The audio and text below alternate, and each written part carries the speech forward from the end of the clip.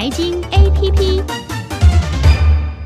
您现在所收听的是中央广播电台台湾之音所直播的台湾 APP 节目，我是主持人曾国华。现在所进行的单元是我们和科技新报合作企划的科技新报拥抱科技的单元，将会为各位听众介绍全球最新的科技、财经或是网络等相关的新知，让听众朋友也能够与时俱进啊。而今天与我们共同关注的特别来宾是科技新报的执行董事林昌明，昌明你好，你好，大家好，是昌明。今天我们从什么样的类型新闻开始？就是呃，最近就是印度的手机市场很热哈，我们就是稍微提一下印度的部分。OK，就刚好就是红海他们也要去印度投资手机工厂嘛，是这新闻都有报道。那我们来看印度为什么它会是新的市场，是因为我知道大陆手机卖的很不错，对不对？那可是印度它的智能手机的买气还没有那么好。所以它是一个潜在市场的标的，对不对？OK，好。等于他们他们最喜欢用的手机是 Nokia 的啦，那种没有用没有智慧型的手机。哦，就是原来我们最早使用的那一种。对对对，然后他们现在的智慧型手机渗透率有到今年哦，已经二零一五年了，已经智慧手机已经发展了五六五六年了，他们才三十五 percent 而已。哦，所以它还有百分之六十五的市场可以开发，就是了。你说台湾现在几乎大家人手一只嘛？哦，对对对对。可是印度是没有的，嘿。哼哼哼哼哼哼，说哇，这个市场看起来很大哎。对，而且他们的他们的特色就是他们的价格非常低。哼哼哼哼。哦，去年卖的手机有百分之四十，他们的价格都在一百美金以下，也就是三千块台币以内。是，所以应该是在那边低价手机会受到比较大的欢迎。所以之前呃，Firefox 手机。无邦图手机就是那种别的智能型手机系统去的很便宜的那种，其实在那边是可以卖的。OK，就跟电信业者合作。哈哈，听说苹果的二手机在那边抢的一塌糊涂哎。对，因为因为他们要便宜一点啊。哦。那苹果手机对一些人来讲是蛮好，还蛮好用的。哇，所以呢。二手机的市场也在那边，也算是不错，就是了。对对对，哇！所以这样子的话，那印度市场不是就是大家火拼的一个战场喽？嗯，所以说他们会推出很多高规格、低价格的手机，就是说 CP 值很高啦。厂商、印厂商这边其实都会去那里做很多竞争。哇，现在看一下，印度这个真是一个超级一级战区了哈，将来的一级战区。对。不过呢，这个跟台湾好像有一些公司有一些关系，对不对？对对，像联发科他们就去印度就是卖晶片。哎，所以低价手机的晶片大部分都是联发科的哦。对，大部分都是联发科的，然后百分之十是高通。但这个东西其实会变，就是说明年后年可能中国手机晶片的市占率就会提高了。嗯哼。因为他们可能跟大陆厂，就印度的电信业者会自己自刻制化手机嘛，是，他会找大陆的厂商代工。嗯哼，那大陆手机现在越来越强，那他们自己也也有自己的手机晶片。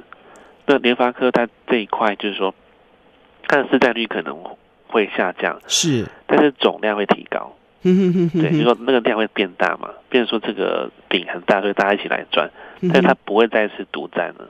啊，所以这个换句话说，应该也就是所谓的红色供应链喽。哎，对。哎呀，这个没有想到，台湾不仅在台湾这边受害，连印度也受害啊。不过那一块饼真的太大了啦。因为是在成长，所以其实还好啦。是是。那如果说你你今天是在一个成熟市场受害，那可能就影响就很大。是啊，因为成熟市场里面卖的量其实是一样的，它不会不会爆炸成长。是，不过我要问，就是说这种平价手机哦，到印度会不会有一天也会翻转呢？就是说，这个他们渐渐会需要比较真的比较高端的东西。嗯，我觉得有点困难。OK，因为印度跟大陆不太一样，是说印度的人均的 GDP 更低。大陆是整个都富裕起来嘛？那当然还还是很多人很穷，可是其实买得起手机的其实蛮多的。是，可是，在印度，我觉得这种情况可能还要好几年。不过你刚刚讲说那边嘛，就是一百块钱的手机，对不对？嗯。呃，一百块美金的手机啦，对，虽然是一个主力的这个标的物嘛，商品嘛，对不对？哎，不过听说好像有些人这个一百块钱美金的这个手机，好像在那边是受挫的，对不对？对。Google 廉价手机在那边好像吃不开啊。对，就是在要跟当地的服务能够 match，能够配合才行。这是怎么回事呢？就是因为因为印度他们的那个市场的发展会是说跟手机的这个服务很有关系嘛。那你的服务一定要跟当地市场能够有合作。可是 Google 的话，它变成说它它的那个竞争力比较低。一一些服务可能没有在地化，然后他的那个手机的需求是没办法满足消费者这个对创新啊、对功能的需求，你跟其他厂商的手手机比起来，就缺乏那种吸引力。哎，你讲这个东西是不是让我想起以前哦？刚刚开始买那个胖啊，有一个牌子嘛，就哈，对 P P D A，对对，那个哦，对 P D A，哇，你我都现在都快忘掉了。对，那时候 P D A 不是很红吗？对，那胖呢？那个时候在台湾啊，很多人也想买，可是呢，到最后会发现一个问题，就是它有问题的话，你必须要打电话，打电话跟服务电话是在新加坡。哦，那时候我就觉得哇，怎么这么麻烦？就觉得说你要通路上的支持才行。是，所以就觉得哇，这个实在是太麻烦了。我就觉得后来就觉得说，哦，下次我要是要买 PDA，我绝对不会买 胖这样系列的东西哦。所以这感觉好像 Google 应该也是碰到类似的状况，是不是？对，所以说其实他应该要选一家电信业者跟他合作，说我就给你两百万支，多少钱讲好，然后是销售维修都给他们弄，让他们赚。然后 就就谈好就好了，是因为苹果也这样做嘛。苹果它现在把台湾的那个维修体系改了嘛，这影影响很大。本来是给电信业者维修，对不对？它现在全部都改成由呃可能红海的体系维修。是，那就就是就是电信业者就不能赚那个修苹果手机的钱。对啊，可是这样子对于这个消费者来讲是比较方便嘛，对不对？对啊，我觉得这也是便利性啊，所以这个战略上面哦，恐怕还是要这个多多考量啦。对，因为他们的工程师思维比较重嘛。当然了，比方说在美国好的，他们有查我，我说是都是网购的嘛。是，他们好像也是在这一套，对不对？对，美国话是用这一套，因为他他其实他可以省。为什么？比方说，我一台手机是三千块钱好了，嗯哼，如果我透过网购出去的话，因为我可能收到的钱是比较多的。是，那我今天给那些通路商。他们都要赚啊，所以我可能只能给他五折或六折。是哦，那我多少钱就就变少了。那美国会发现说直销是好的方式，可是，在其他国家可能就不是，因为这个维修服务体系的问题啦。对，然后大家都要赚一票，就是说会呃砍一砍之后，你就很难跟他。说，哎，我我我还是要这么贵的价格，不行。哎呀，所以呢，告诉大家，最好这个饼够大，大家都有的分呐。否则的话呢，真的是非常难为啦。对，OK。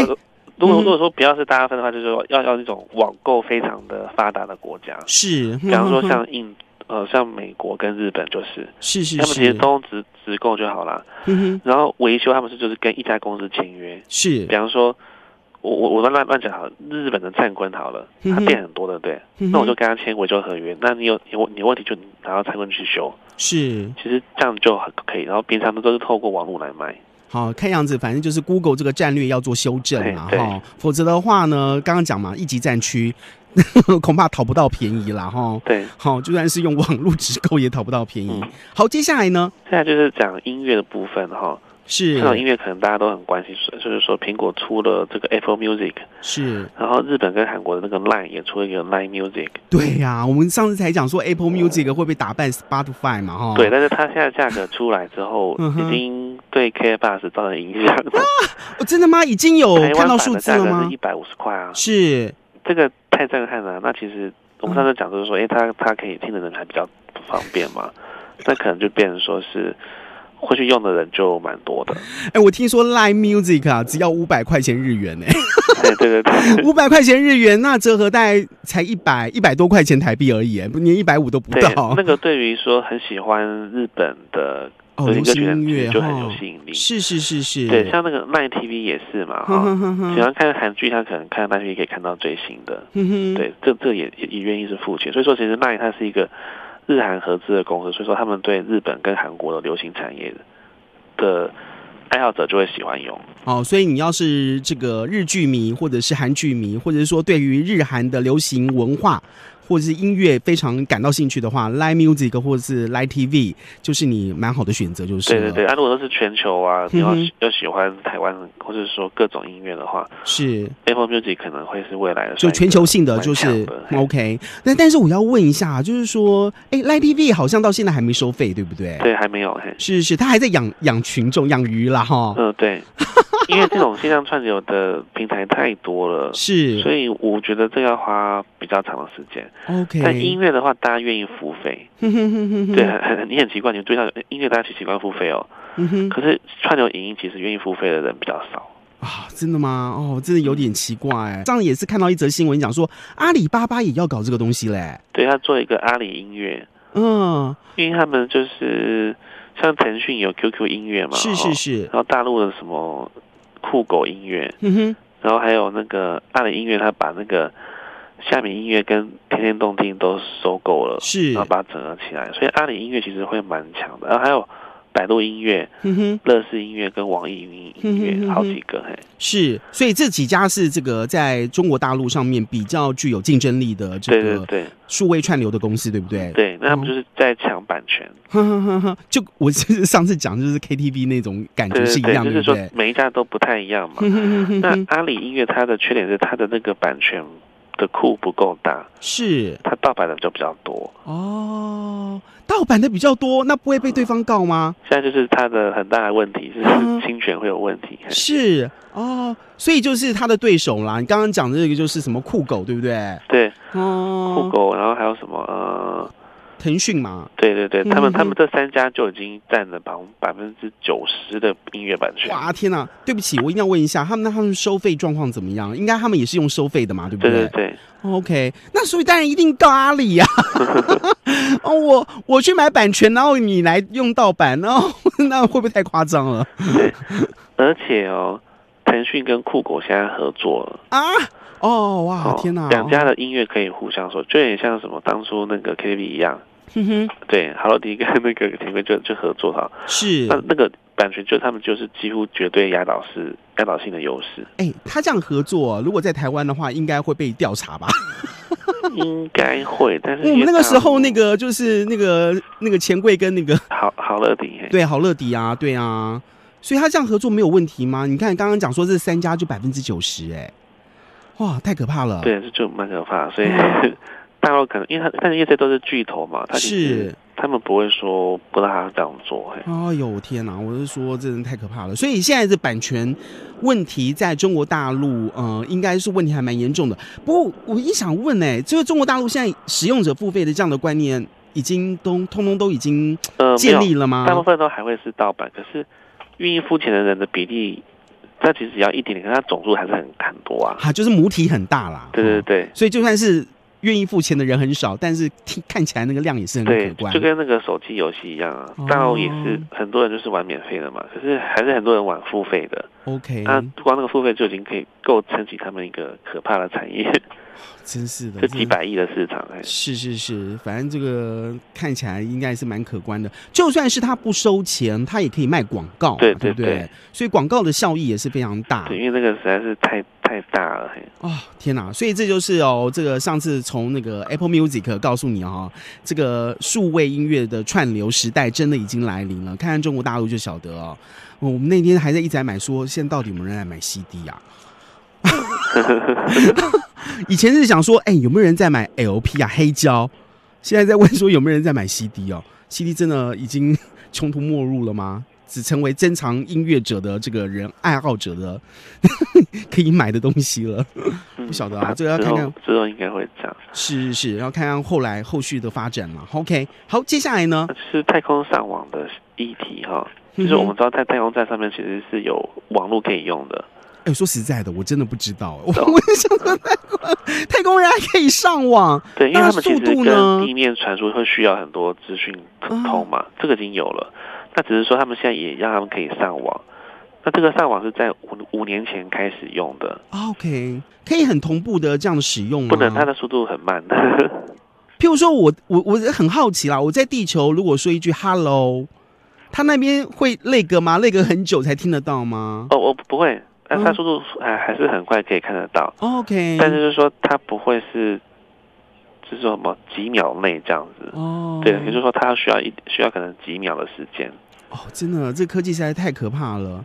那所以它现在这个这个状况有改进吗？像你刚刚讲说速度有点慢的这样速度，现在是希望可以改，因为他们现在看一个影片哈，看那个速度都比我们用上网拨接时代还要慢。对，就是比拨接还慢嘛。所以他们现在就是要透过镭射资料传输系统来改善这个效果。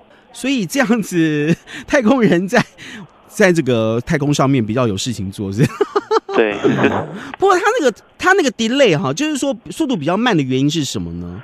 因为它这个传输的这个技术啊，是跟他使用的那个频宽是比较老旧的，哦，不是因为距离的问题，卫星来传哦。就我们知道卫星传的话，就是说它会有频宽的限制跟问题，然后它的这个它可以传很多资料，可它要花很很很长的时间。那它的容量就是说会有会卡住。那你其实速度就不够快。OK，那 NASA 是希望用镭射资料来传，就是因为镭射是一种光嘛，它可以比较快。是，你只要接收的时候能够接收到就好了，那就可以把高画质影片传下来就比较快。哇，所以这个未来。速度应该会越来越快啦。对对对，太空人比较不会这么寂寞，还在那边抱怨呢，好好笑哦。对，他还说他这个哦，这个这个外这个太空人蛮有趣的，还跟飞来号 打招呼。对啊，OK，好，接下来呢，我们看一下，哇，就是那个一样是太空相关的东西，就是说。我们知道航航太公司叫 Space X 嘛，是，他执行长是那个伊隆马斯克，就是现在现在版的钢铁人。哼哼哼，他在两年前他提出超高速的管道列车，是叫那个 Hyperloop，哼哼，也现在已经开始开发出来了。哇，在明年就要盖第一条测试的管道。是，哎，这个听说这个高速这个超高速这个管道列车被视为是火车、汽车、还有轮船跟飞机这四种现代化交通工具之后。最具代表性的这个交通工具，嘿，对，哇，他们光这个报告就写了一百多页，就是巨细靡遗，他们的技术跟他们的发展还有可能性。是，它的理想时速是一千两百二十公里，有没有这么夸张啊？超过音速了，啊，太夸张了吧？这样人在里面受得了吗？呃，受受受得了了，嗯，因为他们有有一些测，有些技术可以达成。但他现在测试只是用三百二十公里测试，就跟高铁一样快而已。哇，不得了！很很多人可能没有办法想象啊，这就是一个管子里面，就是把那个列车是放在一个管子里面这样子进行这个真空式的这样的，然后它的速度就会变快。是是是是，哇，这这个价格呢？我现在现在很最好奇的就是价格，它现在已经有人投资了吗？呃，对，现在投资现他预估要。一花一亿美元来盖这个测试的线路，只是测测试线路哦。对，请问测试线路多长？嗯，测试线路好像没有这么长，八公里，八公里，八公里。谢谢，谢谢再联络。没有啦，测试嘛，对不对？对，测试。哇，那他在今年的第三季就要公开募资。是是是是是。然后，可是然后就用成本去估算哦？如果用一样成本呢，就说他他没有。最佳化过好了，是以按现在那个价格来看的话，从 L A 到旧金山要六百四十五公里，嗯哼，就要花八十亿美元。天哪，八十亿美元其实是呃两千多亿。其实老实讲，跟高铁比起来，其实还好哎。可是很奇怪，哎，这个我我是不知道这样的这个新型的交通工具到底接受度如何，但是我知道哈，现在美国也在开始盖高铁了耶。对对对呀，那如果现在盖了高铁，这个还有市场吗？有，因为它速度比较快啊。哇，它真空的话，它最高速可以到一千二嘛。是是是是，光九百也了不起，也是好啦，我们三倍。那我们要看一下它那个八公里，八公里做出来之后呢，到底是不是真的可以到一千一千一零二零嘛？对不对？呃，一一二二零。哇，一二二零啊！我的天哪，太快了吧？对对，因为它它被当成是第五代的交通工具嘛。然后他也希望缩短货运的时间，比方说你有有些东西可以用更快用运货的话，其实他就不用管人的舒适度嘛，哦，就可以跑更快出去。所以它运货上面应该是占很大的优势，就是了。因为因为飞会非常快，所以这个一旦成功的话，其实欧洲、亚洲、非洲可能很多城市都可以这样用。是啊。哇！但是有地震带的地方可能不行。你说台湾吗？台湾我觉得很难。哎，不过你想一想，如果台湾真的可以用的话，哈，从南到北三百多公里，哈，按照一二二零的时速啊，哦，对，很快。那不是二十二十分钟就可以从台北到高雄了？嗯，这太恐怖了吧？比飞机还快。哇，飞机！但我觉得它这个应该有地形上的一些限制啦，是相对是要比较平坦的，是是是是是。做，而且它这个要维持真空，我相它，相信它的这个技术的门槛应该蛮高的。这个不是一般的公司能够做的东西。好，所以我们现在来看看这八公里到底可以做出什么样的样对那个模模式来哈。明年盖哦，嘿，嗯哼哼，好啦，拭目以待啦。对，然后 二零一八年就可以开放民众搭乘。是是，很多人讲哦，只要能够解决交通问题的话，那个人一定可以当总统。哦，对啊，可以啊。所以交通问题一定是大家头很头痛的问题。对，然后因为它是因为在美国做嘛，是，它等于是美国做好一个一系列的系统，就是从纽约你要一一直往西哦，其实它它是有非常非常好的系统来做，是，就整个美国都会用这这个 Hyperloop 去拓展他们这个城市的这个交通速度。哇，这个 我话不要说这么早。嗯嗯，好，我还是看看现在他们高铁能不能盖好啦。好，已经招标了嘛。哈，一个好像一个是给中国大陆，一个是给这个日本。我们两个还蛮平均的啦。好，我们先来看看它这个国内的这个交通可不可以把它搞好。好，这边就非常谢谢昌明带来的给我们最新的讯息哦，也希望下周可以听到昌明带来更多不同的讯息。谢谢昌明。谢谢谢谢。